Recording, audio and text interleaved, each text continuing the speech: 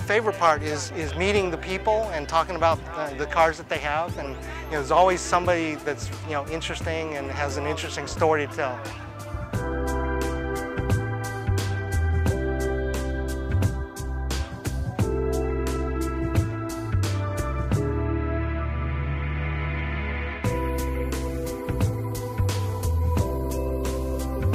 fantastic cars, the fantastic people watching, the um, the events themselves have just grown in quality. The number of cars has grown. Just a smorgasbord of fantasticness.